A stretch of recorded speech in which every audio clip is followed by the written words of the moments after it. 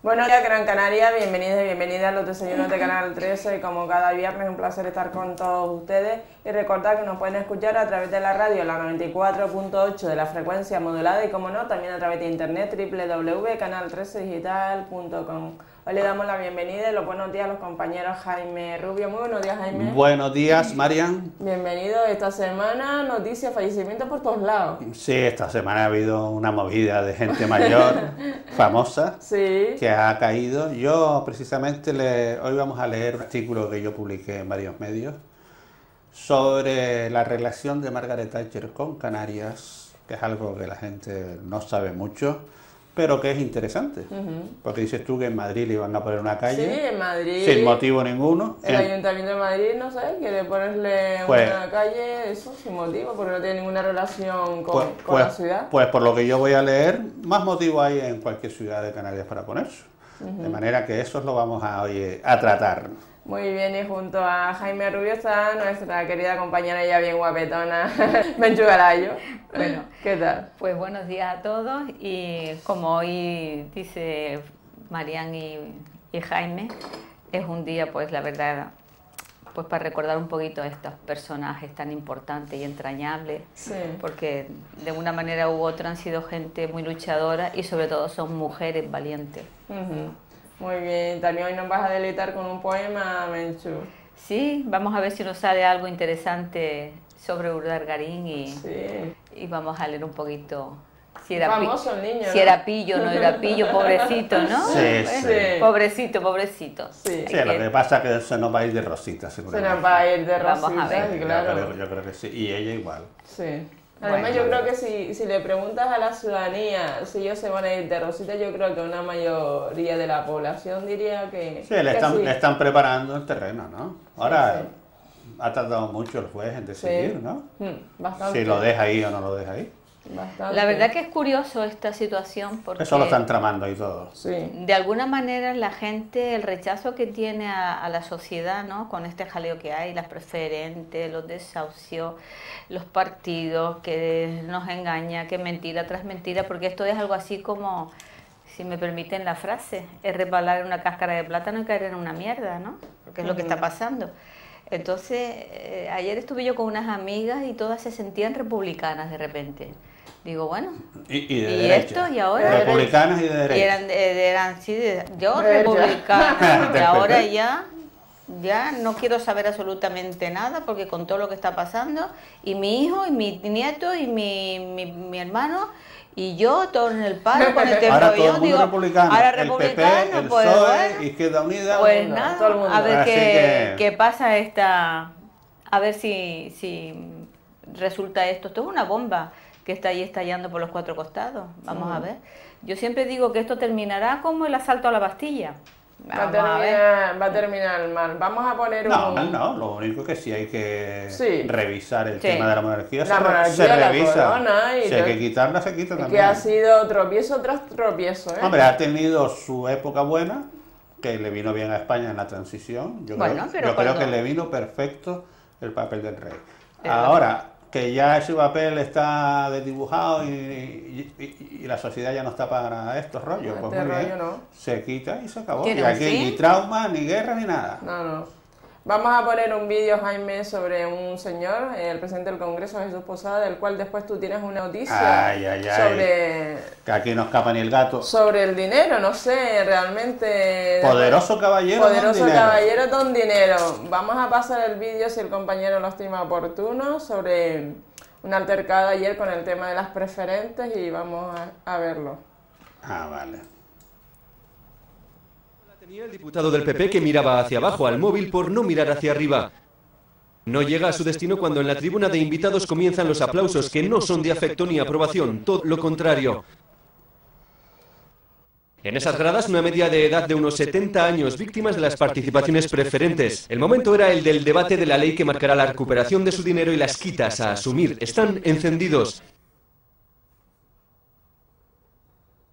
El presidente les expulsa tarea a ejecutar por Serafín y el resto de ujieres.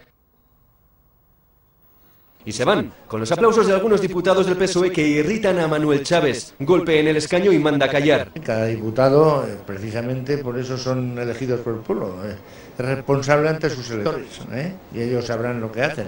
Siéntese en su escaño, señor Elorza. El debate continúa. Martínez Pujalte recupera la palabra para hacer la suma preferentes Zapatero. Y el señor que se sentaba ahí, señor Zapatero, dijo que estábamos en la Champions League que no quería pedir ayuda para los bancos y engañó a los preferentistas. En la calle siguen los gritos y los aplausos apoyo de los socialistas.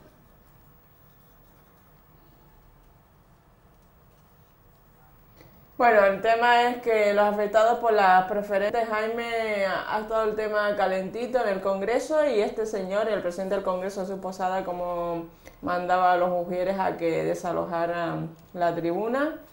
Y realmente son afectados y afectadas personas mayores que han depositado sus ahorros ahí en bancos de, de toda España, en bancos como Bankia, ¿no? Bankia, la Caja Insular básicamente, básicamente, se concentra todo en las cajas. Hmm. Y Bankia, ¿no? Porque resulta que el gobierno y, y Bankia mismo están utilizando el dinero de las preferentes para pagarle a Europa los 10.000 millones que les prestó para salir del bache, ¿no? Y ese es el asunto ahí. De manera que devolvérselo lo van a tener muy difícil. En el Santander, por ejemplo, no hay problema ninguno, porque Santander no ha recibido dinero de nadie. Y si el juez dice que hay que devolverlo, lo devuelve y se acabó. Y se acabó. Pero en este caso es más complicado.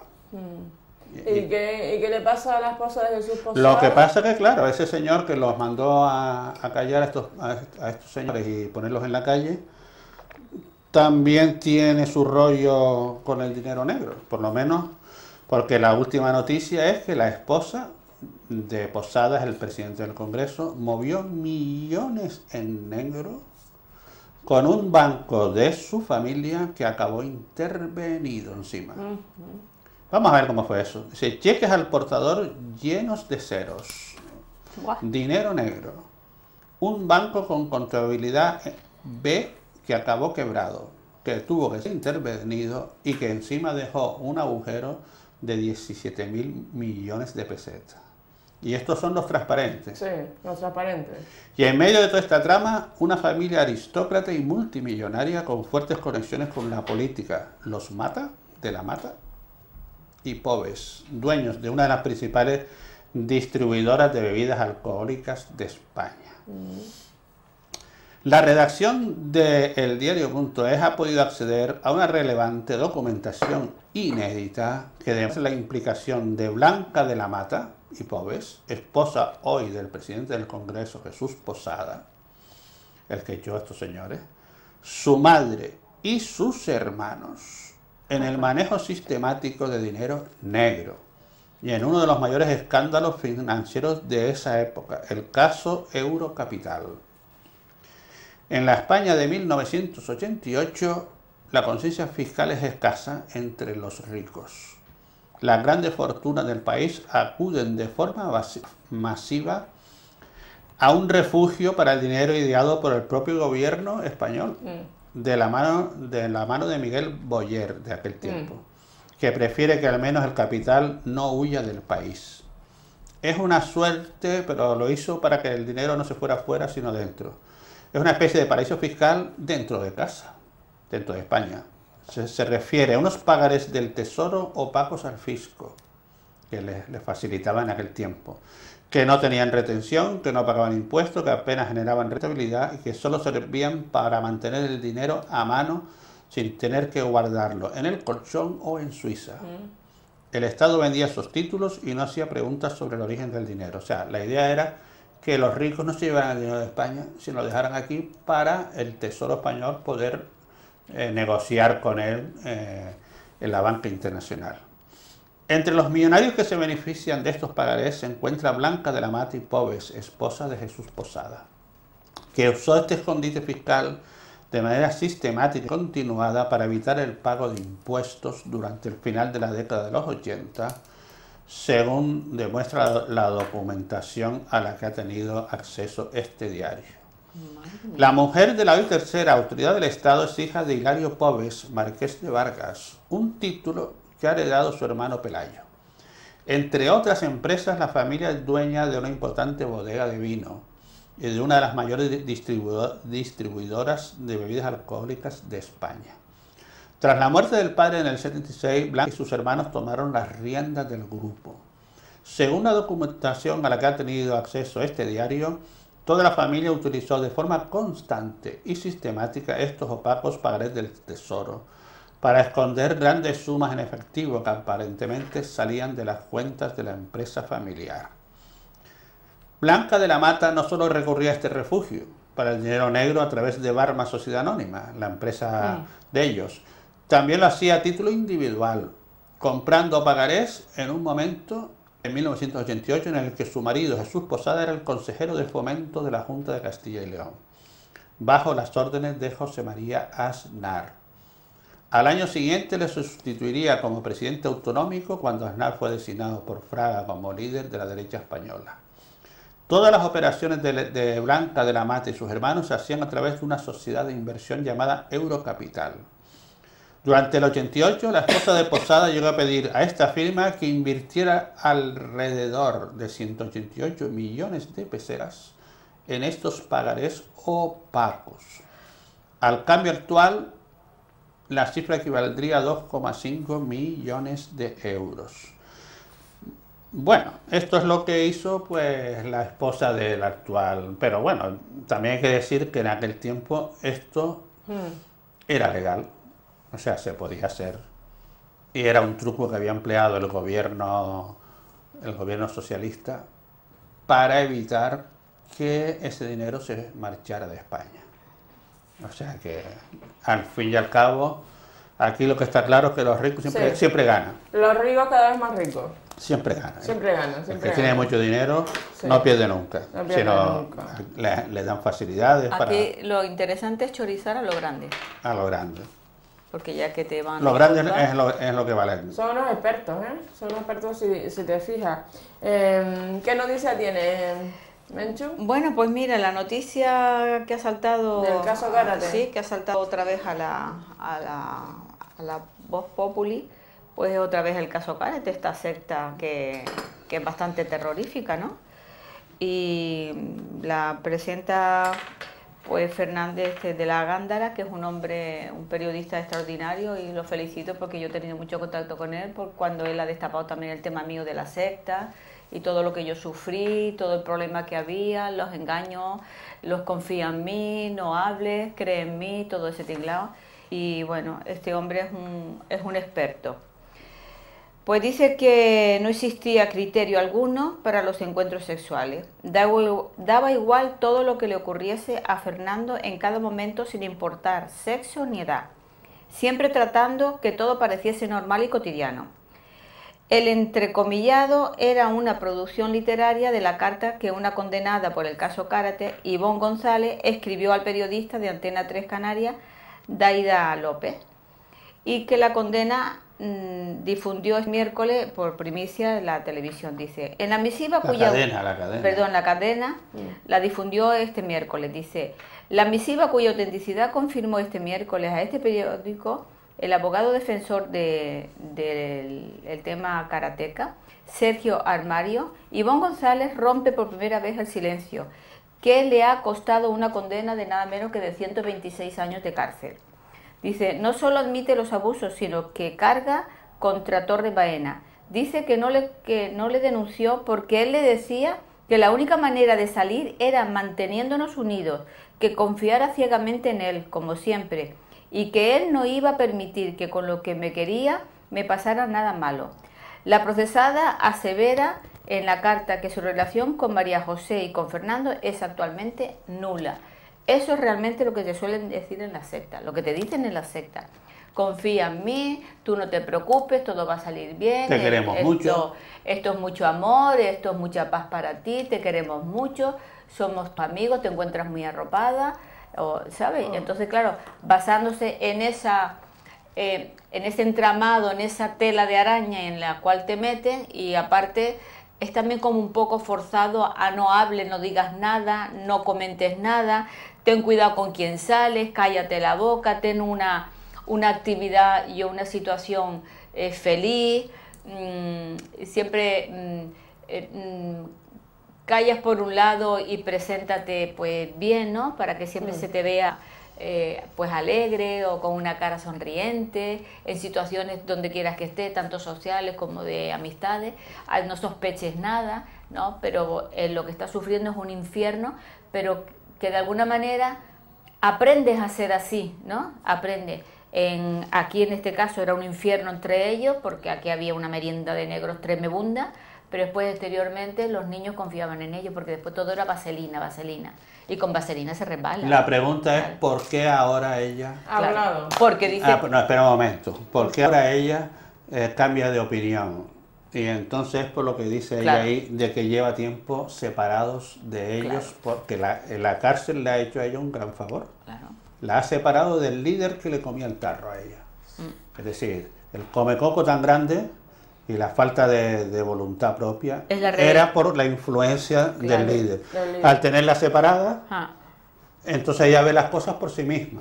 Entonces una de las cosas que, por lo que dice ella ahí, Torre Baena le decía a ella era que, se- que no le hiciera caso a sus abogados, a los de ella, porque tenía abogados distintos a los de él, y le hiciera caso a él. Para una defensa conjunta, ¿no? Para hacer la misma defensa. Pero claro, a- a- al hacer eso, lo que hizo fue que la arrastró a una condena tremenda. es que es un- Aunque de todas formas ella tampoco está libre de pecado. Pero bueno, habría que verlo en el contexto de, No, no, de pero, un tema sectario. pero ¿no? es cierto lo que Jaime dice, al estar separadas tú lo ves de otra manera y entonces tiras por ahí y lo otro rompe.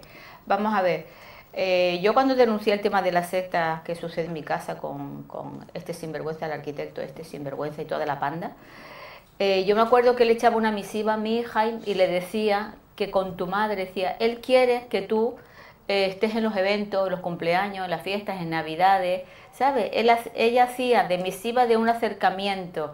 ¿Para qué? Para mm, seguir en la distancia manipulando. Entonces encontró con una pared, ¿no? Que era yo. Eh, entonces lo que hice yo fue pues mm, destapar todo, denunciar y, y digamos que era como una, una línea, una meta que yo me, me guié y, y además me hicieron caso, era verdad lo que decía porque el sentimiento estaba ahí y la veracidad era, era cierta y realmente se destruyó todo. ¿Qué es lo que le está pasando a esta chica? Mientras estaba atada a él, que aun estando con un abogado, él decía déjalo. No te dejes manipular por el abogado hasta que ella se ve sola y El tema es poner distancia Exacto. entre el, el líder de la secta Exacto. y, y la persona afectada. ¿no? Mm. Hasta que no pones distancia, es difícil que te des cuenta de que estás manipulada y que no estás haciendo tu voluntad, sino la del líder, Claro, que es el que quiere que tú la hagas. ¿no? Mm. Y eso ocurre en muchos ámbitos, incluso a nivel de iglesia ocurre lo mismo. Eh, en la vida religiosa todo el mundo sabe que lo primero que hace cuando, cuando es separarte de tu familia. Te mandan a un convento en la península, en el Quinto Pino. Aquí fue el famoso caso de las Carmelitas, que los padres se manifestaban, fíjate tú la de años que lleva eso. Y los padres a día de hoy, incluso todavía les cuesta ver a sus hijas. Las separaron, las mandaron al Quinto Pino, Claro. no dejaban hablar con sus padres. ¿Por qué? Porque, porque al estar aisladas del mundo y solo recibían información de, la- de esa organización, Eso es lo pues bueno para solo ven lo que la organización quiere que vea. Y eso pasa ahí, pasa en otros grupos.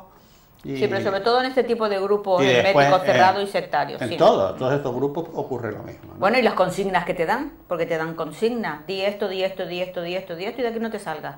Son consignas. No, son tenés- consignas de todo, porque incluso Claro. eh, yo conozco organizaciones muy famosas, e incluso cristianas, que te dicen qué programas de televisión tienes que ver y qué no. ¿Qué libros debes leer y qué libros exacto, no? sí, sí, es verdad. sí, ¿Qué es verdad. autores sí, qué autores no? Eso te lo digo yo porque lo conozco perfectamente. Mm. ¿Qué periódicos sí, qué periódicos no? Mm. ¿Me entiendes lo que te digo? Mm, Sí. Entonces, claro, si tú no Todo tienes dirigido. libertad para contrastar la información y solo te llega por un canal, crees que ese es el canal verdadero, ¿no? Todo es dirigido. Te- Teledirigido todo. De manera que, que en, en este, en los grupos sectarios ocurre lo mismo. Si alguien te dice, no, mira, pues si, es que ese señor está equivocado, ¿qué te dice el líder? "A ese- Con ese señor no hable. Que es, ¿Y el, qué- que es el demonio. ¿Y qué papel tenía esta mujer entonces ahí? Porque si el líder era él, la otra pájara. Bueno, ella era, digamos, era... La el- mano derecha de él era la mujer era un de pilar. él y ella. y ella. Eso date cuenta que las sectas todas se mantienen con tres patas, sea del el grupo que sea, son tres patas, que es sexo, poder y dinero. Esas son las tres patas. Además, un pilar de tres patas nunca se cae. Uno de cuatro puede tambalear. Si no, tú fíjate una mesa que tenga cuatro patas, siempre está pim, pim, pim, que a veces hay que poner un, un calzo debajo de la pata porque siempre se mueve. En una cafetería, en la calle, en la acera, en tu casa. Muchas veces las cuatro patas no están bien, bien situadas. Pero tres patas nunca se mueve. Entonces los pilares son eso, Lo malo de esta niña es que ya está condenada. claro. Y el juicio cerrado. Ahora volver a revisarlo solo para ella va a ser complicado. A, que me- fíjate- a menos que ella pacte, que no sé si eso se podrá hacer. a Es que fíjate altura, hasta Con qué- la fiscalía decir, venga, yo canto a cambio de una rebaja. Pero hasta qué punto estaba ella enganchada al líder o el líder lo- la tiene eh, obnubilada que hasta que no se ha visto condenada, que son 126 años lo que dice el... el- Sí, que son el- 30. que son 30, pero bueno, que ha sido condenada, ha sido metida en la cárcel, ha sido apartada, ahí donde ella vio la cosa. A lo mejor la vio antes, pero es incapaz de, de pronunciarse, es incapaz de salir adelante. O sea, de decir la verdad de aquel momento y denunciarlos a todos. Decir, yo me vi influenciada para hacer esto, esto, esto, y si no era castigada y era abusada y era pegada y era tal, ¿no? Entonces, ella ahí hubiera tenido una, Una defensa. una defensa tremenda y no le hubieran salido a lo mejor 30 años de cárcel, le hubieran salido menos. si se lo hubiera Si lo- creído el juez. Claro. esa es otra. Sí, esa es otra. Bueno, vale, pero porque que... a saber si ahora No, pero la esto ella lo dice porque se ve que se Pero va a el de resto todas de su man- vida metida ahí. Pero de todas maneras la, me- la manipulación del líder Jaime es tremenda. Influyó en, la- en, en todo, influyó en los Tú niños no, tú no tienes en el vídeo donde sale la madre hablando ahora, No. Porque otro día a ver si lo ponemos.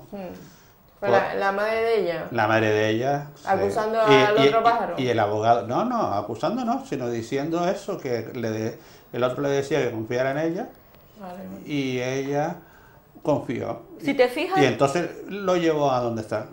La Pero- llevó a donde está. Si vamos a ver todos estos casos y estas cosas de corrupción y de... de- Cuando una persona te dice confía en mí, Malo, malo, malo. sospecha enseguida. Malo. Pues nosotros malo. tenemos la Malo, experiencia Malo. de casos de herencias, por ejemplo, entre hermanos, que uno dice confíen todos en mí, todos con mi abogada. Muy bien. Malo.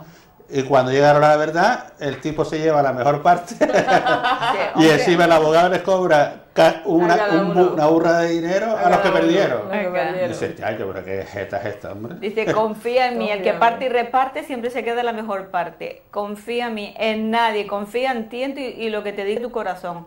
Si te diste tu corazón, la fastidiaste. ¿Y cómo, ¿Y cómo definirías este personaje, al Fernando? Este, Bueno, líder este yo pienso Un- que un es un, un lu- un lunático, un, loco, un, enfer- un enfermo, no, un hombre muy listo que sabe lo que quiere, Un sabe lo que manipulador hay. de conciencia, está Sí, claro. Total, ¿no? total. Una persona, eh, un demonio, un demonio que sabe enraizar las cosas y que sabe en, en- embobar a la gente y atraerlas a su, a su manera y a su mano. O sea, eso es un tipo, un cruel, un depredador, lo que es, un, un, un ser indigno y Y cruel. el sexo Y para mí, hay. para mí, eh, yo creo que para él es una forma de poder. Claro. O sea, no es el sexo por el sexo, sino No, es yo soy el, el macho alfa Claro. y aquí me cepillo a todo Dios. Mm. ¿Me entiendes? Que soy el que manda aquí dentro. Y yo creo que lo hacía en esa... Claro. Y Me da la impresión, ¿no? Y eso es una forma, cuando te agreden sexualmente, es una forma, digamos, de, de anularte total. Claro, es una ya- forma de, de romper ya- tu voluntad. ya te han roto lo Y a partir tuyo. de ahí ya tú Lo- eres un pelele claro, en, sus, en sus manos, ¿no? Ya es así. Eso es como funciona toda, toda esta cosa sectaria, ¿no? Mi madre. Sí, Ay, ¿no? es curioso. es un programa- es una cosa sí, es que esa parte, fuerte esa parte y sexual, complicada. esa parte sexual que es la parte tuya que, que, que tú la, la- Más te abres a quien te dé la gana, ¿no? Haces sexo con quien tú quieres, pero voluntariamente y te Mm. satisface. Pero ayer, por ejemplo, en Los Borgia, que estábamos viendo la, la serie de Los Borgia, una de las dos personajes de Los Borgia, que era una chica que no había tenido sexo con nadie, Esa- ah. se la se enrolló, se, el, Con un hijo del el Papa. hijo del Papa eh, pues mm, se la maquinó y la violó o se acostó con ella. No, no Ella- la violó. Se acostó ella porque quiso. Sí, pero que se encontró ella que sexualmente ya se encontraba, digamos que... Porque le eh, resultaba atractivo el personaje, Exacto. ¿no? Pues qué pasa, que cuando ella cuenta que había tenido sexo con el hijo del, del Papa, pues la hermana de, del- de este personaje le dice, ¿y ahora qué? ¿Ahora qué marido tienes en esa época? ¿no? ¿Ahora qué marido claro. tiene? Entonces ella qué hizo? Dice, pues ya no sirvo para nada, fíjate, por un polvo que echó directamente, ya no sirvo para nada. ¿Y qué hizo? Desde las ventanas del palacio cogió y se tiró y se suicidó. O sea, que, que se encontró agredida su parte más personal, más íntima, y coge y dice, bueno, ya no sirvo para nada, fíjate, tú por un polo y me mato. Lo que pasa que es absurdo porque Claro. fue porque quiso. Aunque ella estaba prometida, vamos, Claro. su Era familia le había concertado Matrimonio. un matrimonio Claro. con un personaje de, de Roma. Entonces, al, al- al enterarse la familia dice, oye, si usted no es virgen, ya a mí está. esta señora no me sirve. No me interesa. Y Al entonces carajo ella con ella. se mata. Y entonces ya se le vino el mundo encima. ¿Te ¿no? das cuenta? Pues así es Sí, lo mismo. Cosas que pasan. Que sexualmente se, a esta gente se le veía, el- a esta chica se le ve, eh, se le ha venido el mundo encima. Hombre, con un Y juicio ella- de esto a cualquiera. Y ella ahora, ah, pero que no ha reaccionado anteriormente. Sí, o que sea, ahora De todas que no sabemos. ¿Qué ha reaccionado ahora? Que no, Porque la cárcel para mucha gente es una terapia. A pesar de lo duro que es estar ahí dentro, para este tipo de personas es una terapia. Porque ahí es donde ella se está dando cuenta de la realidad de las cosas. De quién era este señor, de cómo la manipulaba, de lo idiota que fue. de lo estúpida que ha sido, Claro. de lo débil, de lo, de lo que sea. Esa estupidez. se Pero se ha dado cuenta y ahora, claro, ahora quiere mm, arreglarlo. Lo que pasa es que le va a costar. ¿eh? Ahora es un poco difícil. Está complicado el tema. Pero bueno, a lo mejor tiene suerte Bueno. y se le rebaja. Otra cosita más, cosas, Jaime. Bueno, vamos a hablar una cosita que dice que Facebook se, quería apuntar al carro de, de aquello de cobrar por sus cositas. Entonces nos va a afectar a todos, Jaime. No, no, no. Al final ha dado marcha atrás el, el Ah. señor Mark Zuckerberg y está pensando, todavía no seguro, que solo los mensajes a personas desconocidas, o sea, de los que tú no tienes en el círculo de amigos en tu Sí, face, Que no ese, tu agenda. ese, ese mensaje, que no sé a quién le manda uno, un mensaje a un desconocido, pero bueno, no sé. ese mensajito Arroy. le va a costar 0,81 euros. Pero bueno, esto está bien porque mira, para los que, para los, la- los delincuentes que hay en la red, Sí. que mandan mensajes desconocidos sobre cuentas corrientes y sobre sexo y bobería, pues está bien que se lo ponga porque le va a costar. ¿Entiendes? Y tiene que usar su tarjeta de crédito, con lo cual ya está localizado. ya está localizado. En ese aspecto está muy bien, ¿no? De manera que dice que este, esta medida ya está siendo comunicada mediante un aviso que algunos usuarios ya han podido ver en su perfil. Que a mí me importa un carajo todo esto. Este Pero tú, tú estás al día en eso, Sí, ¿no? sí, el sistema, hombre, claro, el sistema se aplicará a los, mal, a los más de mil millones de usuarios que, que están Casi nada. 89 céntimos, mil millones de usuarios, no está mal. Multiplica.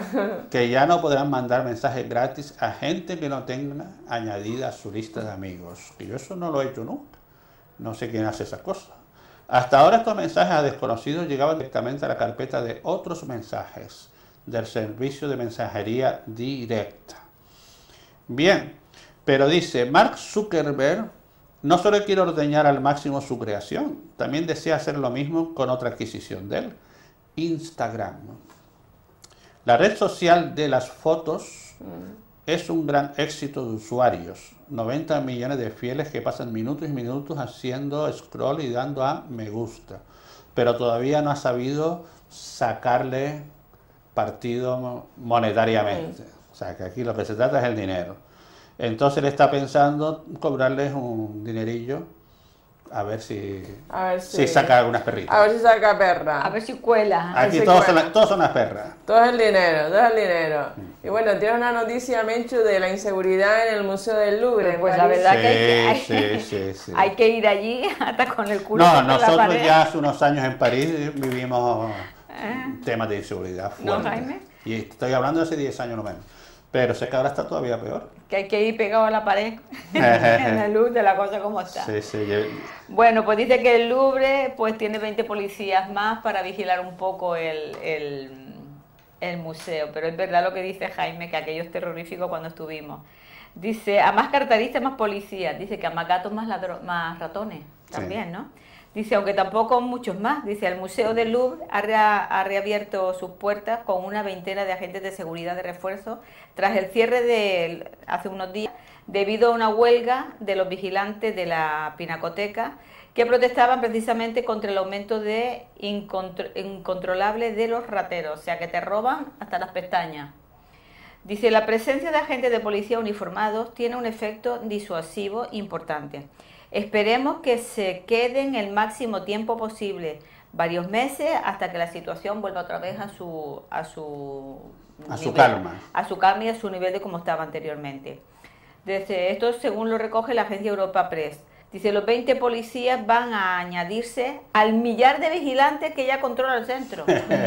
si tiene un millar, Sí, vale, un millar vale. más 20. O Qué sea, exagera- qué exageración, O sea, me parece una pasada, Que ¿no? O sea, cámaras de vídeo o sea, y entonces los visitantes, al haber mil allí, hay un montón de visitantes. Madre mía, contando a los, a los dos vigilantes. Los dice. vigilantes. Dice, aún así, la Pinacoteca ha decidido también colgar en su página web una serie de recomendaciones para sus visitantes. El Museo del Louvre es un establecimiento muy frecuentado que desgraciadamente es escenario de prácticas ilegales que lamentamos, dice. El centro invita a los turistas a la vigilancia indispensable de sus enseres, bolsos, carteras, bolígrafo, cámara fotográfica, Claro, te de todo, ¿no? te descuidas y la dejas allí un Y momento que no y la no compres a los revendedores de, de entrada. Ah, claro, Tampoco. eso es fundamental. Dice, no es para menos. Los vigilantes que cuidan la pinacoteca denunciaron a- hace unos días que se ven desbordados por los carteristas, que actúan tanto dentro del museo como a sus alrededores, y que ellos mismos han recibido en distintas ocasiones pues escupitajos, golpes, insultos y amenazas, y hasta tal punto de decir basta y obligar al museo a que sea más, visitado. Como llevan más visitas Más y es, más, eh, es más visitado por muchísimas más gente, pues a más revuelto, más ladrones. Entonces lo que quieren es que eh, pongan estos señores vestidos de uniforme y así los intimide un poco. Dice, es, este museo está visitado siempre, cada año, por 10 millones de personas, o sea, una pasada.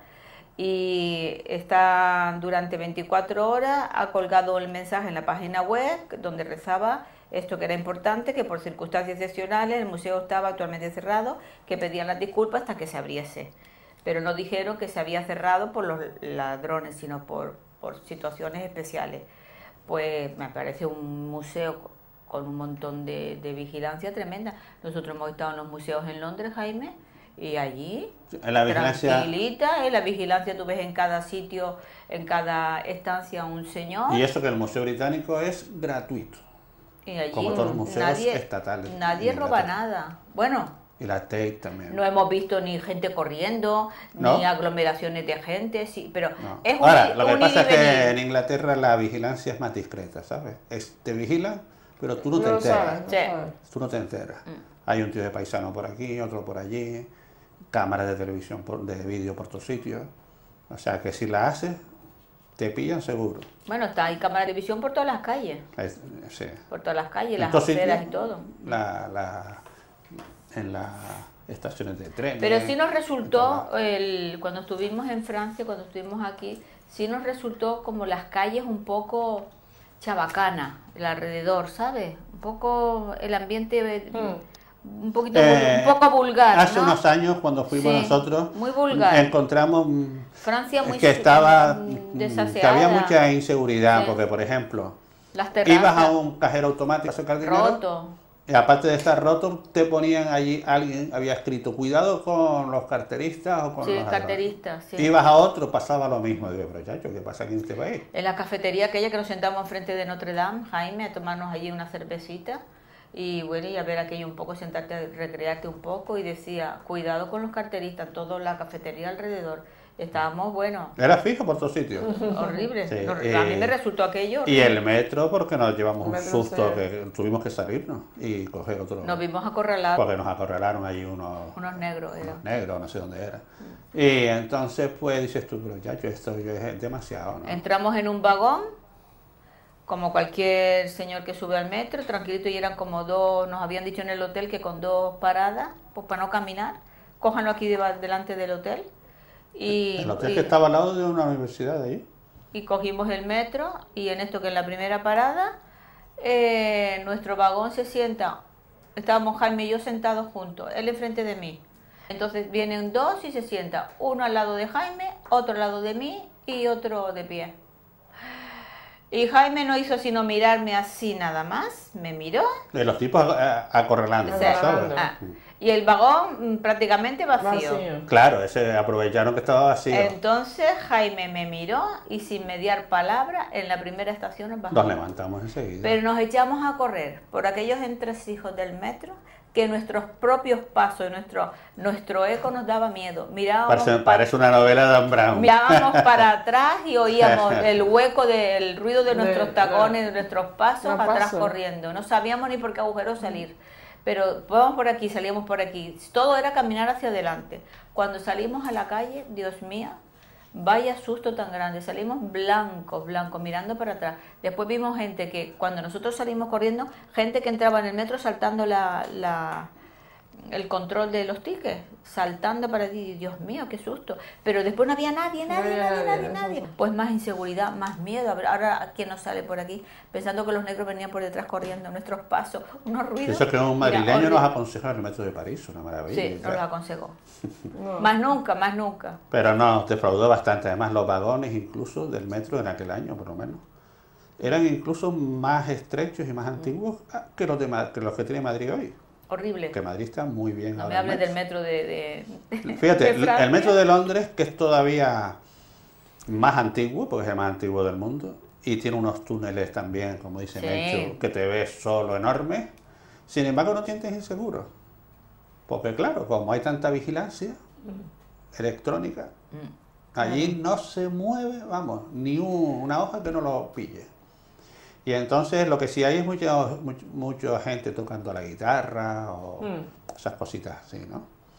Pero en Londres nunca Y hemos tenido ningún pero problema en con, París, con- Jaime, con fue- inseguridades de estas. Fue una hora propia, porque eran las ocho y pico de la... Eran eh, en primavera, pero eran las ocho y pico de la, de la tarde, que no era tampoco No, no, las era 12 por- de la por la noche. mañana, ¿no? por la, por la tarde. Ah, Llegamos la de, de Inglaterra a, a Francia por el túnel, Jaime, y de ahí fuimos directamente al hotel. Ah, Y del hotel pues salimos a Mm. cenar, eran las ocho y pico, a dar una vuelta y así.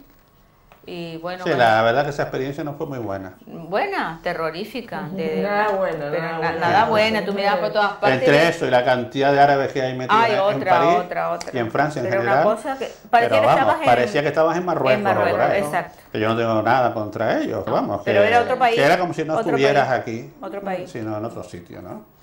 Y te, te decepcionaba un poquito. un Vamos a ver poquito. a Margaret Thatcher, bueno, a verla no, Margaret Thatcher y su relación A recordar. Ya, ya no podemos verla, a recordar pero la vamos a ver en recuerdos. a una mujer mm, bien puesta. A ver, la señora Thatcher, que fue, como todos sabemos, primera ministra, una mujer que según Reagan tenía dos hombres dentro, pues tenía mucho carácter, ¿no? Eh, que cambió, levantó Inglaterra cuando estaba en crisis como está España ahora. Lo que pasa es que también tuvo una cosa, su lado bueno y su lado malo, ¿no? Eh, Ella fue la pionera de todas estas políticas neoliberales que hay ahora, que le costaron el puesto. El puesto. O sea que aviso a navegantes, ¿no? Pero bueno, hizo muchas cosas buenas, entre ellas la que vamos a, a leer aquí. Dice, verdad que nunca estuvo la señora Thatcher en Canarias, pero se acordó de ellas cuando decidió revitalizar los Docklands, o sea, la zona de muelles del East End londinense. Esta es una zona que estaba antes toda abandonada. No había sino solares abandonados, muelles abandonados, etcétera. Allí se encontraban los viejos muelles canarios, que se llaman así, Canary Wharf, cayéndose a cachos después de los bombardeos de la Segunda Guerra Mundial. Y la decadencia de la posguerra. Aunque los canarios seguíamos enviando plátanos y tomates a Londres a través de esos muelles de la isla de los perros en un meandro del Támesis, frente a Greenwich, hasta mediados de los 60 los días de ese puerto estaban contados. De hecho, estuvieron parados y abandonados entre finales de los 60 y los 80 del pasado siglo. Una pena porque en las oficinas de los muelles canarios trabajaban muchos de nuestros compatriotas y algunos casaron con jóvenes, con jóvenes secretarias inglesas que trabajaban allí también. O sea, allí se hicieron muchos matrimonios entre canarios y chicas inglesas que trabajaban y muchos se quedaron allí a vivir y otros han venido aquí, ¿no? Pero en 1981 la flamante primera ministra británica, conocida en Londres como Maggie Thatcher, Maggie para los amigos, iba a cambiar las cosas radicalmente. Cuando ella apostaba un penique por esa zona de Londres, la dama de hierro apostó por revitalizarla, inyectando millones de libras en aquella aventura y convirtiéndola en la pujante Canary Wharf actual, que se ha convertido en una especie de Wall Street londinense. Enseguida, grandes compañías americanas como City o canadienses y europeas apostaron por la nueva zona de negocios, levantando allí sus sedes en grandes rascacielos, como el One Canada Square, la Plaza Canary Wharf, Muelles Canarios, o el HCBC. Nosotros visitamos los Muelles Canarios cuando empezaban a levantarse esos grandes edificios y nos llamaba la atención ver el nombre de Canarias por todos lados. Sí. En estaciones de metro, Sí. de tren, en plazas, en edificios, por supuesto, en los muelles. ¿no? En los muelles, sí. Hoy Canary Wharf tiene aeropuerto propio. ¿Y a el, contra? el London City Airport, con vuelos a Madrid y otras capitales de Europa. Allí mismo. Y es una marca financiera propia, que co- cotiza, cotiza en bolsa y donde además trabajan en esas oficinas muchos canarios jóvenes actualmente de ejecutivos. Hoy esta zona se ha convertido en la más exclusiva de Londres, ri- rivalizando con la City en volumen de negocios. De manera que a Canary Wharf actualmente se puede acceder de diversas maneras. En metro, pues fíjate todo lo que han hecho allí. En metro, en autobús, en tren, en coche, en barco y en avión. Mencho y yo hemos accedido en tren, en barco Mm. y, y en autobús. En barco a través del Támesis, Del Támesis, que es sí. una cosa preciosa. Preciosa, más bonita. Y- Hacerlo en un barquito. Se ve por ahí también el edificio de Norman Foster. Sí, te llevan en un barquito que, que- que en aquel caso iba conducido por una capitana a una velocidad tremenda. Y Nos dejan un muellito chiquitito, pero te dan apenas un minuto para saltar del barco. Sí, porque los ingleses para eso son muy, eh, muy prácticos, ¿no? Aquí nada de estarse entreteniendo. Ven, abajo. Bajamos, dimos un saltito, bajamos, y después del embarcadero ya estaba dentro de una cosa muy bonita. Muy bonita. Y después volvimos ahí más tarde, en, otra, en otro momento, y se veía ya la, la magnitud de aquello. Está el, el edificio de- del mm, el City Group o el City Bank, grandísimo, que miras, a- mira, te tienes que poner la cabeza casi horizontal para tú poder Sí, mirar. podemos, podemos buscar aquí una foto de Canary Wharf, que hay mu- muchas, para que veas cómo está Y hoy. muchos edificios ya terminados también. Bueno, hoy además allí podemos alojarnos en uno de los 400 hoteles que se han hecho en esa zona, Madre que mía. cuando nosotros fuimos no había ni uno. Ni uno. Ahora, ahora hay 400, que se dice pronto, porque es una zona de negocios, ¿no? También se han trasladado allí sedes de los importantes diarios londinenses. Y aparte de eso, hay aproximadamente eh, en lo que es la zona comercial de Canary Wharf, que es como una calle, hay más de 300 tiendas, bares y cafeterías donde también te puedes entretener pues haciendo una compra. ¿no? De manera que una, una visita a Londres puede ser quedarte en un hotel En de, un hotel de de- Canary Wharf y quedarte en esa zona y pasar un tiempo ahí. Está muy bien. Que además los hoteles de la zona son más baratos que los del centro de Londres. Puedes conseguirlos por, por buen precio y estar bien ahí, ¿no? Ahora, el aeropuerto este que le han hecho, que lleva tiempo funcio- funcionando, mm, se- no hay vuelos directos de Canarias, pero sí desde Madrid o de cualquier capital europea con cualquier compañía que tú quieras, ¿no? Me refiero a British Airways, Iberia, etcétera, ¿no?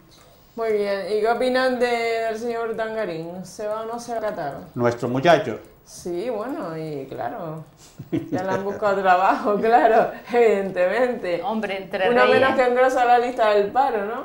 entre rey y reyes hay, hay un pacto. el rey ese que, llam- que llamó tres veces allá, dice la prensa, ¿no? Y se lo confirmó el, el embajador, dos días, hace poco, dos días seguidos, después otro día más. Pero él dice que no hablaba de eso, sino de negocios. Bueno, bueno, Bueno, da igual, pero entre, Eh. que entre reyes hay... eh, cuéntame hay otra. su- y- Cuéntame otra. Sí, eso es una batita. Pero Bueno. bueno, le buscó su, su, su escape. Ahora falta que el juez le dé el pasaporte. Le, dé- le diga, le que- se puede trasladar. Esto es una, una novela por entrega. Porque si lo cita, lo manda a llamar, tendrá que pegarse un viaje tremendo de 6.000 kilómetros. va. 6.000 kilómetros y después ir allá detrás también, ¿no? Sí, claro, supuestamente. Cuando termine el curso escolar con los niñitos. Y el tema también es que, Pues ya está imputada, que tiene que pagar el dinero. el dinero. Tendrá que devolver el dinero. No, sé pero mira, si paga el si se va a bajar para allá y paga el dinero, pues es un dinero que va, porque va a cobrar sabroso. Pero Sí, también tiene que aguantarse 50 grados al- en la calle. Pero bueno, dice quien quiere celeste. Eso Que es un inf- cueste. Bueno, Mira, pero si esos tú, lo, si tú lo vas a ver un poquito, es como irse al infierno, ¿no? Sí. A irse al infierno a pagar su pena. Claro, ¿no? lo que Porque- tiene que hacer no ponerse al sol. o sea, 50 grados, no, ponerse al sol, ni que el sol allí se tuviese para él solo. No, Vamos a hombre, ver, ahí eso- la, la gente no está nunca al sol. No, ya, gente- pero que eso es el A menos que infierno. tenga un barco o algo. Esto parece que está proscrito. Claro. Sí, pero bueno, no, no va a estar una chabola para No, no, no, ya tiene un palacete y. Claro, aire, No, aire acondicionado y de todo. Y, Aquí asisten- vamos- y asistenta, asistenta también van a tener, yo qué sé. Esto es como de oca en oca y tiro porque me toca. Ya está. Y ahora, Yo- todo el mundo, yo- y ahora todo el mundo abogando por la República, lo que decía la amiga. Hombre, ¿qué, qué es eso ahora todo el mundo? Ahora sí se habla de, de la República, de la monarquía. De oca pues, a oca, tiro cacique, porque como decía toca. un periódico, no sé si era británico o americano, cacique el rey, hombre, cacique ya. Así que es su hijo. ¿Es su hijo? Ya está. Y nos vamos a ver, ¿y nosotros para qué queremos a, a- No, ¿y para qué quiero yo una monarquía? Vamos a ver, ¿para qué quiero, para qué esto una monarquía? para estarle pagando dinerales todos los, todos los años con la crisis que hay? Y encima llega un caso como este, y yo entiendo que un padre puede, tiene que defender a su hija, Sí. pero oiga, ¿no dijo usted que la, la ley era igual para todos? Igual para todo. Lo que pasa que, claro, también está la imagen de España que se, se iría Sí, pero ¿qué tiene que al ver? carajo, como decimos aquí, y todo eso, ¿no? Y- Hombre. y, entonces si lo, si lo, lo Lo- suavizan un poco, dice, bueno, Lo que es cierto es que ninguno ha sido parido por los dioses ni por las hadas. No, Simplemente han, sido tocados por la varita mágica. Porque si es cierto, naciste de un rey o naciste de una ahora, monarquía o de este tal. chico, Urdangarín, ha dado un pelotazo, eso está más claro. Sí, un pelotazo. Casándose con esta mujer. Sí. Lo, Y- sí, lo mire como lo mire. Es decir, Este, que no. si lo salvan, que se dé con un canto en el pecho, porque allá no va a poder robar. No, pero, pero le corta Porque la mano. Le corta la mano. La mano, o sabe Dios. Sí, o lo Ahora, que hay una cosa, hay una cosa curiosa, que mm, algún historiador o alguna persona con un poco de inteligencia, mm, hay que ver como una sola persona, ajena a un, en- eh, a un entramado mm, de la monarquía, de los reyes, de los antiguos, de los presentes y de los futuros, como solamente una persona ha puesto una llama, ha incendiado toda una monarquía y todo un contenido político. Una sola persona, ajena a todo esto. ¿Te das cuenta? Es como si de un, una- un castillo de naipes alguien fue y hizo así, cogió una carta. Y entonces, esa carta ha roto parte de ese castillo. Todavía queda el castillo medio poner, falta mm, a medio hacer, ¿no? Porque se ha caído parte. Ahora falta ver dónde, dónde se queda esa parte, si se sigue componiendo. O vamos si a la Tercera vamos República. a- a- O vamos a la Tercera final. República, ya, Ahí la, foto- está. ya la esa, fotografía es, real, esa es la realidad. la fotografía ya de, de la familia real y ahora son es cuatro el, gatos. el castillo de naipes. Eh. Lo que pasa es que aquí la derecha primero era enemiga muerta hasta hace poco del rey y ahora Hombre, ahora- ahora es al ahora se ha revés. Ahora dice que, Ahora que cómo vamos a ir a la república, que si vamos a repetir Claro, lo, de, lo de la guerra civil. No, hombre, la guerra civil porque- fue al revés. La ellos- república era el gobierno legítimo, Legítimo. Y, ustedes fueron los que se levantaron contra la república. Contra la República, se la O sea, cargaron. No contra la Sí. monarquía. De manera que... Hombre, a ellos tampoco le interesa, Jaime, porque están pringados hasta las cejas. Ahora es, eh, dice, mm, unos dicen, Didi vencerá, y otros, a río revuelto, ganancia de pescadores, y otros dicen, más vale unirnos que separarnos. Mm. Entonces están tratando de... Ahora, lo que está claro es que claro. el rey está tocado un ala, ¿no? Tanto física como moralmente. O sea, ahí ya no hay nada que rascar. Y después la reina va por su lado, Sí, sí, la porque reina. no quiere saber nada de, este- de, de- de- de Sí. su, de su marido debido a, a todos los cuernos que le ha puesto. A o sea lo que, que sabemos, a lo que al sabemos. final dices tú, oye, Sí, esto, es, esto es una merienda de negros ahí dentro, Sí, el otro día estaba por ahí en un, en un país africano, por ahí bailando. Bueno, eh, pues haciendo fomentando ella... la ah, campaña para que usen el- el, el el- preservativo. el preservativo. Pues bueno, ella está haciendo su, Para su evitar el labor SIDA como, en- como, como una mujer, bueno, por lo menos buena, ¿no? Y dentro de su, No, ella, de su, ella de, de todo lo que hay dentro es lo mejor que hay. de su Sí. sufrimiento. Lo que pasa que, claro, que como, no... que como madre tiene que estar pasándolo, vamos, y poniendo una carita. Mira, si tú la ves en, la- en las imágenes, tú mira los ritos de la gente. Eh, las caras las tienes encajadas, las ojeras crecidas, las arrugas florecidas. Están que parece cuando, cuando Se tú les tienes, cae el pelo de mano. tú tienes cuando tienes un saco de papas en casa que se van saliendo todos esos cuernos. ¿A quién te estás refiriendo? ¿A la reina? Sí, a todos, a todos, Ah. en sí, en todos. Tú los ves, todos están cambiando. Hombre, es normal, cuando uno está disgustado, Sí, ni claro. comes, ni te sienta Bueno, bien nada. Pero vamos y- a ver, y- oye, Menchu, el tío ha metido la mano en la caja, porque Ya, devuelve pues, el dinero en la caja. hay que hombre. cortarle las alas, Hombre, claro. a cualquier hijo de vecino te metes, metes la Sí, mano en sí. la caja y lo primero te meten para No, eh, Ellos eh. no van a ir a la cárcel, ni uno ni la otra. Sí. Ya está. no, y la otra, incluso estos días, le están buscando una vuelta De al tema para, para que no vaya a juicio. Para, Para que no- quitarle la imputación. Para quitarle la imputación. Una maniobra que está haciendo ahí. Esto es- Miguel Roca, Miguel Roca. El Roca y, y- Y el fiscal. y- y más arriba. Más arriba. Lo que pasa es que vamos a si le sale. Bueno, Que yo creo que le saldrá porque pues claro, eso es lo que piensa la la mayoría de maniobra es de la ciudadanía. que, claro, porque claro, es una infanta de España y a nivel internacional ha quedado como una choriza, entre comillas, porque lo ha dicho la prensa por ahí. Dices tú, oye, eso es una imagen horrible, horrible, horrible, la verdad. Y entonces, Pero ¿quién, bueno. quién va a confiar en, Sí. quién va a confiar en el gobierno español? Pero en la, Nadie. en la, Nadie, en la- nadie. La pero- imagen fatal. La, la imagen de España está, vamos, Fatal. peor que nunca. Peor que Por ahí nunca. fuera. Pero mira, en la historia de los pueblos y de las naciones, siempre cuando hay un cambio, hay un primer paso. Si no se da ahora, se da mañana, se da dentro de 7 años, 20 años, 30 años. Siempre se da. Cuando ha habido un cambio, el cambio empieza. Dice que todo camino empieza con un primer paso. Se dará el paso cuando se tenga que dar.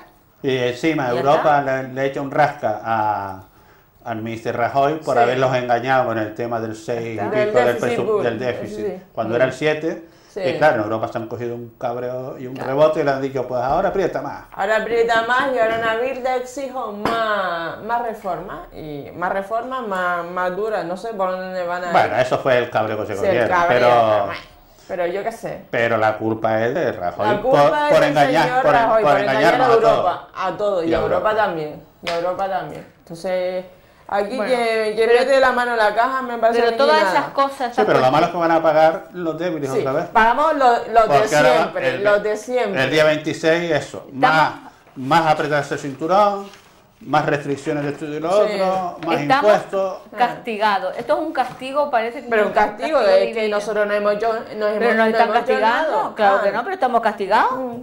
Tú no has hecho nada, yo tampoco. Estás Yo castigada. quiero montar un negocio y ¿No el puede? banco no, no te abre No el puede porque teléfono está ni- castigada. Ni, a, ni a tiro, ni a tiro, porque la recesión, esto hasta el 2014. Esto es castigo no involuntario. Necesario. Yo no sé si la gente por ahí está comiendo o no deja de comer. Yo lo que sé es que todo el mundo con sus grandes móviles, con sus grandes tabletas, no sé qué, ¿eso cuánto vale? ¿20 euros? Ah, no, sé, no, es que eso no vale sé. sus 600 Sus euros 600 como euros. mínimo. Y entonces, ¿qué pasa? ¿Que tienen la nevera vacía en su casa, Jaime? Es que no, no, no me cuadra ni Ah, eso. ah, pues la, la verdad es que eso O es... eso se paga a es- plazo.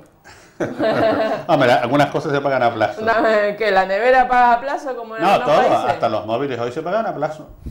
Sí, Pero sí. si tienes un imprevisto, luego el coche se te rompe, que son 600, 800 euros, esto lo Estamos otro, pagando- la lavadora, la Lo que ocurre aquí, eh, Es que por no lo menos sé. a nivel canario, es un misterio que ha sido siempre así.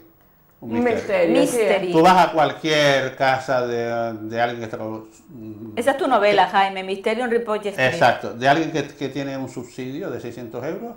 ¿Y cuántas Y, y tiene un televisor de 47 pulgadas, ¿Cuántos entre, entre otros. Después otro, otro en el cuarto del hijo, otro en la cocina. Dices tú, pero chacho, ¿y de dónde saca esta Y gente uno la perra, reciclando, ¿no? ¿Eh? Y, uno, y uno reciclando. Y no reciclando. Ah, qué bueno. O sea, Son que cosas con- rarísimas. Que con ella no, No Móviles no de lo último. Eh, con ella no está el tema de reciclar, ¿no? Sí. No, no, no, al revés. Son cosas raras que tú dices, no sé, de dónde, vamos, es una cosa que... Bueno. Pero en fin, yo Y- me imagino y- que habrá por ahí sume- eh, economía Y yo sumergida. con mi. Hombre, claro, hay ¿Qué, economía me- sumergida. qué tiene que haber? Pues si ¿Y no... tú, Menchu, con tu móvil Con mi, qué? móvil, con mi móvil del año 96. No, yo tengo un móvil normalito, ni WhatsApp como No, del, tiene Jaime. 90 del año 96 es defensa que personal. uno tiene que estar al Sí, día Porque también. También... Jaime sí está al día. Jaime sí. Jaime Uno- está al día. Nosotros estamos por las noches. WhatsApp y otras. Eh, tengo entendido que un primo de, de Leticia, de, de- de Leticia, nuestra princesa, tiene preparado un libro por ahí que va a ser una bomba de Sí, relojería. pero es un- yo creo que es un libro de mal gusto, ¿no? De mal gusto, ¿no? Porque no puede ser que tú seas primo, primo mío, Primo abogado. hermano. Yo te confío un secreto y de hace un montón de años. Bueno. Y ahora, lo vas, a- ahora aprovechando Bueno. toda la raya esta de mierda que está saliendo, Lo suelto para ver si se me saca Jaime, perra, pero es que hermano. aquí donde digo, ¿Qué es digo, esto, digo hombre? Diego. Pero Ya eso está. es una canallada como otra cualquiera. De tu Además, propia familia, ¿no? Pero Que son- mata que ella haya abortado antes de casarse. Pues oye, si abortó, cosas de ella, pero después de casarse es otra cosa. ¿no? ¿Eso Sí. lo explica él en el libro? Sí, sí. No, y es verdad porque ella se lo, lo confirma, ¿no? Pero Bueno, pues habrá que leer ese libro. Bueno, ¿qué más cositas? Pues bueno, pues Men- mira, como dice que se halla, la, eh, halla en la puerta del infierno. Aquí como Pues- estamos en un infierno, no te estoy diciendo que hay una puerta y todo. O sea, que la podemos tocar, esa La puerta. podemos tocar la puerta del sí, infierno. pero esto es un dato arqueológico muy bonito. Más infierno que esto. Dice que la antigua ciudad helenística de Hierápolis, Pamukkale, que significa literalmente castillo de algodón en turco, es una incomparable maravilla natural. Sus terrazas originadas por movimientos sísmicos y que a simple vista parecen ca- cataratas petrificadas son el rastro dejado durante miles de años por aguas de un manantial con alto contenido mineral, dibujando lo que parece ser una cascada de nieve, por eso es así de blanquito. Dice, esta joya blanca ubicada al suroeste de Turquía recibe al año más de medio millón de visitantes para bañarse en esas piscinas que dice que son curativas. Así también eh, se bañaba la princesa Ptolomaica Cleopatra Selene II, que visitaba esta ciudad y se sumergía en sus aguas divinas para purificarse y, y- y curarse la piel. Dice que paradójicamente el cauce de estos baños terapéuticos famosos por curar padecimientos como el reumatismo, enfermedades del corazón, asteo- osteoesclerosis, hipertensión y alergias de la piel, está muy lejos de ser un paraíso. Hace unos días, reconstruyendo la ruta de estas aguas termales, un equipo de arqueólogos italianos llegó al lugar donde se originaban estas aguas. Y dice que la cueva, eh, que era celebrada por la mitología grecorromana como un portal hacia el, el inframundo, se llamaban las puertas del infierno. Claro, porque por los gases y eso. Di- Claro, dice, como salida de una película de terror, los restos de la antigua llamada Puerta de Plutón fueron hallados por un grupo de científicos encabezados por don Francisco D'Andria, profesor y arqueólogo de la Universidad de Seleno en Celle, Italia, que durante años ha estado investigando y excavando la antigua ciudad frigia, declaró Patrimonio de la Humanidad hace 25 años Declarada. declarada. Dice, desde Cicerón hasta la enciclopedia de Princetón de sitio de sitios clásicos han mencionado la puerta del infierno situada en el antiguo emplazamiento de Turquía, pero hasta ahora nadie había sido capaz de encontrarla. Fue descrita también por un historiador y un geógrafo griego que se llamaba Estrabón como un orificio en una cresta de la colina lleno de nieblas espesa y a falta de cualquier otra nada. Pero ahora lo, lo bueno está aquí.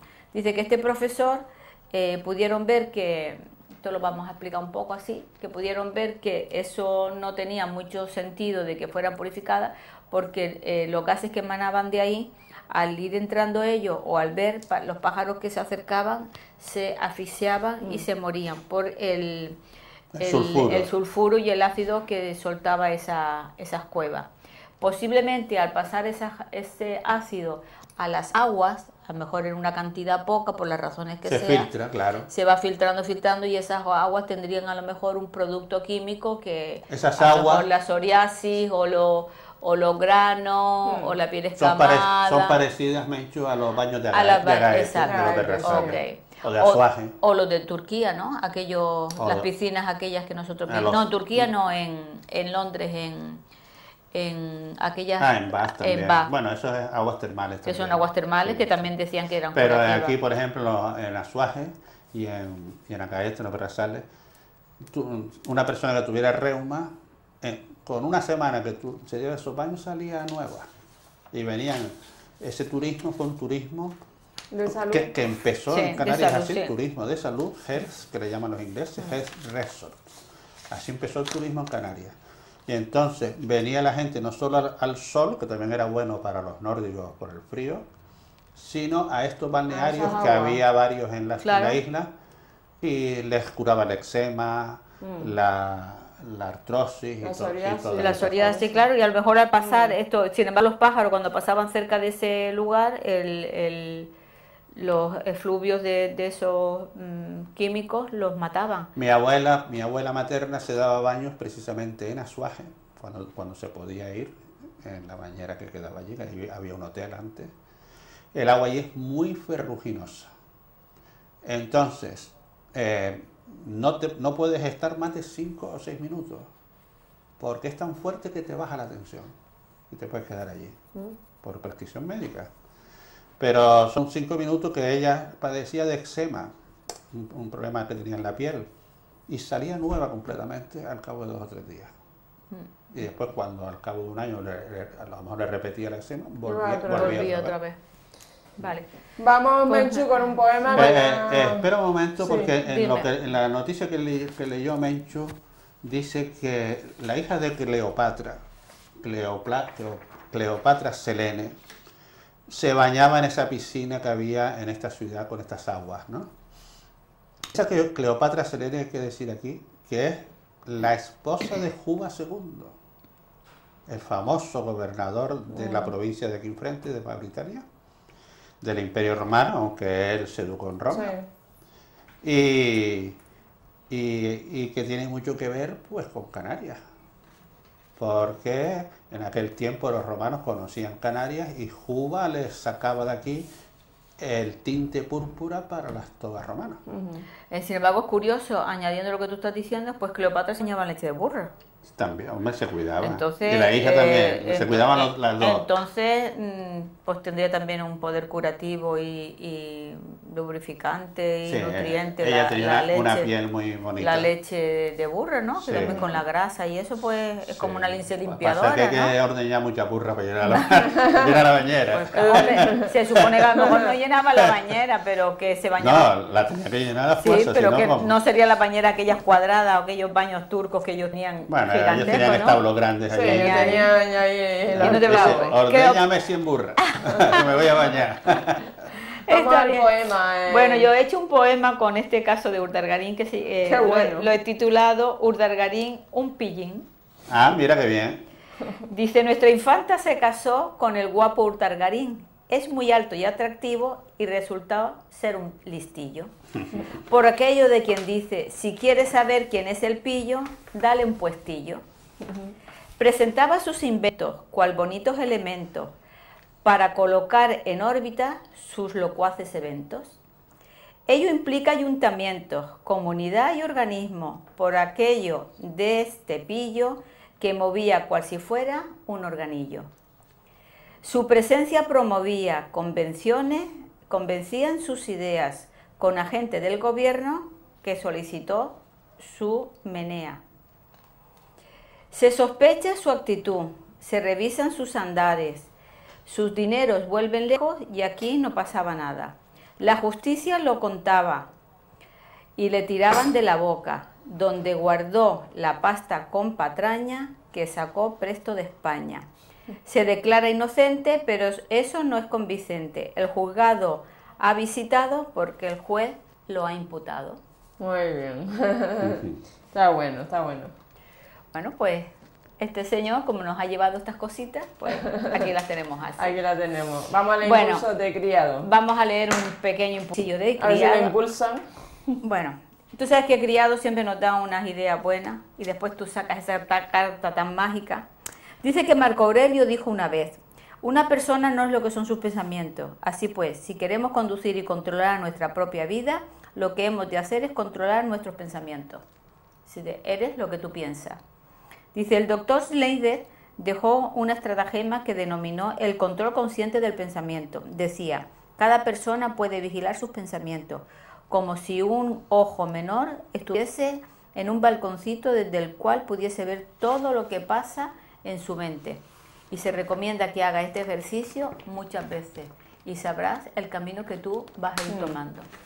Entonces, esos son los pensamientos de Eduardo Criado. Número de la suerte.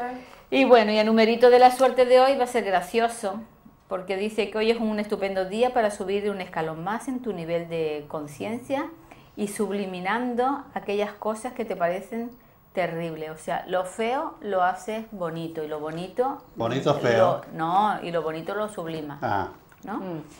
es decir, es una broma, hombre. viendo desde, un, viendo de una perspectiva más elevada y madura los hechos de la vida. Así que tu número de la suerte es el 789. O sea, lo feo lo hace bonito. y 7, lo, bo- 8, 9, todo seguido, entonces. 789. Dice que lo feo lo hace bonito y lo bonito lo sublima, lo, lo eleva. Vamos a, lo- a Los Bueno, Ángeles. A los angelitos tuyos, Marian. que Vamos estos a son ver, a ver los lo ángeles que- preciosos. Lo que se mueve por aquí. Sí, sí, sí, sí. A ver qué sacamos. Pasión. ¿Vale? Uh. Venga. Bueno, Pasión. A ver, a ver, a ver. pa- pasión en actividad. Pasión en actividad. Arcángel Aniel, confía en tu renovada pasión y síguela en tu vida amorosa y trayectoria profesional. Profesional. Vale. Muy O sea, bien. Confía en tu renovada pasión y síguela en tu vida amorosa y, y trayectoria Bueno, Urda- Profesional, lo que Urda-. Sí, Urdargarín está en esa pasión, Pues esa porque pasión. profesional, Pasión porque turca. a ver si, si esa pasión le da a él un respiro. Sí, sí. Porque Y bueno, el muchacho Bueno, tiene la, que, la pasión de él es otra ahora. la, tiene la- que- la tiene que- pasión es la pasión. pero el muchacho tiene que se- conseguir su objetivo, Jaime. Sí. Tiene que ponerse a trabajar Sí. porque tiene que pagar lo que debe. Claro, y eso claro. también es de Porque ha derecho. trabajado mucho, ¿no? El- Eso es Sí. de derecho. Sí, pero eso Sí. con, con el sueldo no lo va a conseguir. Sí, Eso es sí. mucho dinero. ¿no? Eso es mucho dinero, pues nada, que lo devuelva, no sé, que se busque la Exacto, vida. que, que la venda, que venda Por- propiedades. Que venda propiedades. Por eso tiene que trabajar, No, para pues ya pagar. está. Que venda propiedades. Uno, uno menos que engrosa la lista del paro, entonces. Entonces somos menos de ese millón Si de trabaja, empleados. no engrosa la, la lista. No, no, los no está apuntado en el paro tampoco. No, hombre, bonito fuera. Bueno, es que vamos. Pues nada, terminamos Jaime, Jaime Rubio, Menchu Galaya y hemos estado un poco... no sé. Distendido. Sí, sí, no sé. Hemos hablado todo un poco. De Tache, bueno, también José Luis Pedro que falleció en la madrugada del lunes. Oh, sí. Recordar libros como La sonrisa trusca Y, y, Luna, y Vigas Luna. y Vigas Lunas también, Saldita Montiel, Margaret Thatcher, también murió el padre de también de, de la niña Probeta, que con, Ah, ese- sí. con, con esa investigación El él- investigador el investigador escocés, escocés, muy importante también. Y, y nada, y gracias Mencho Galayo por estar aquí de nuevo. Vale, mi niña, Un placer para todos. todos nosotros y espero que se hayan pasado un rato agradable y recordar que esta noche a las 21 horas aquí en Canal 13 Digital se emite el programa del compañero Alejandro Arma, Historia de San Borrondón, el programa número 8 con distintas actuaciones mm, musicales, con la sección de sociedad con la compañera Adria- Adriana Cabrera, la sección del horóscopo con la compañera Vanessa Artiles, la mesa del debate que hablan sobre el tema del aborto con una autora mm, también en esta casa que se llama Catalina Cárdenas y también en la mesa del debate está también Juaní Santana, vicepresidenta de Iniciativa Feminista, entre otras entre otras cositas que tiene el programa del compañero Alejandro Arno. O sea, no lo olviden, hoy a las 21 horas y el domingo se repite en diferido a las 8 horas y este programa también lo emitimos en diferido el domingo a las 10 de la mañana. Que tengan un feliz día, muy buenos días, Gran Canaria. Thank you.